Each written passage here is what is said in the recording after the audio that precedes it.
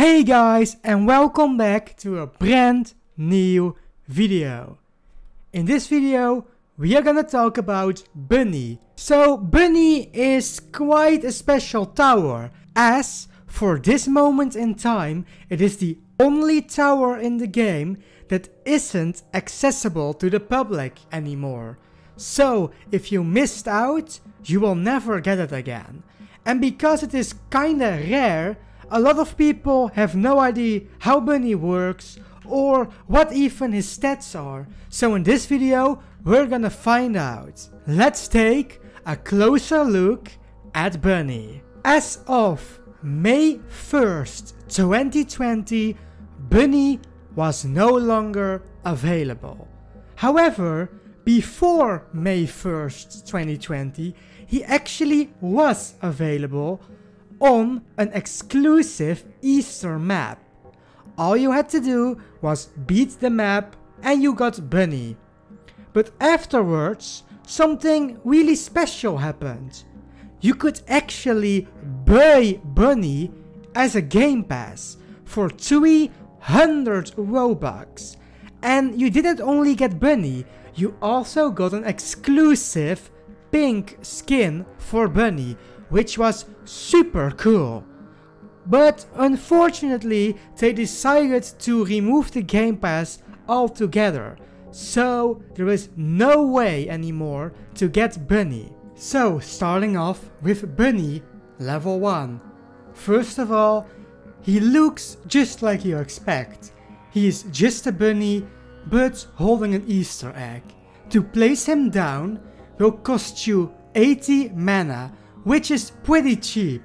He will only do 1 damage though at level 1, but with a range of 4. Something that is really important to note though is that Bunny does not have a limit, so you can place unlimited bunnies until you reach the tower limit, which makes him pretty amazing. After having your bunny for a little while, you can upgrade a bunny for 350 mana. Its damage will increase to 6 and the range will also be 6.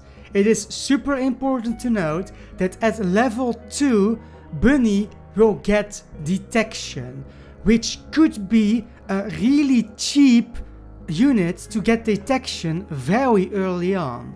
Once again, you can of course upgrade Bunny to level 3.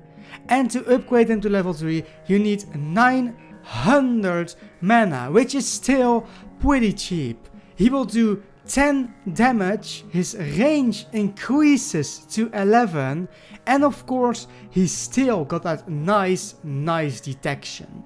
Coming up to level 4, that you can purchase for 2 1000 mana, which is quite a jump from the level 3 cost. The damage will increase to 24, that is like more than double the damage that he had on level 3, which is super amazing. The range doesn't increase that much, only increasing to 13, but that's not the biggest problem. His model looks really cool, but he still stays like a small little bunny. And of course, last but not least, the level 5 bunny, which can be obtained for 2800 mana. Its damage only increases by 4, giving him a total of 28 damage, but the range almost doubles, giving him 21 range, which is super large. Of course, he still keeps his detection, but it is really important to note that he doesn't have any other effects. He doesn't get burn, he doesn't get mutation, and he doesn't get sparkle. He is just a purely DPS tower, basically a wizard 2.0. That said, I still really like how the level 5 bunny looks. He looks pretty cool. As for the skins I suggest on Bunny, my two absolute favorite skins for Bunny are Neon and Inverted. So, in conclusion, Bunny is actually a pretty good tower, but only when you solo play. Because when you play with a lot more people, Bunny becomes more and more useless.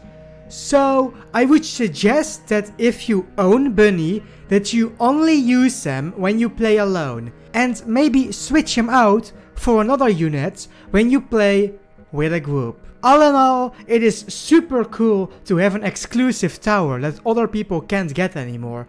So I guess Bunny also has a little bit of a flex factor. But do you own Bunny? Or do you know somebody that owns Bunny? Let me know. But anyway guys, thank you all so much for watching. If you like this video and want to see more, please hit that like and subscribe button. And I will see you guys in the next video. Bye bye!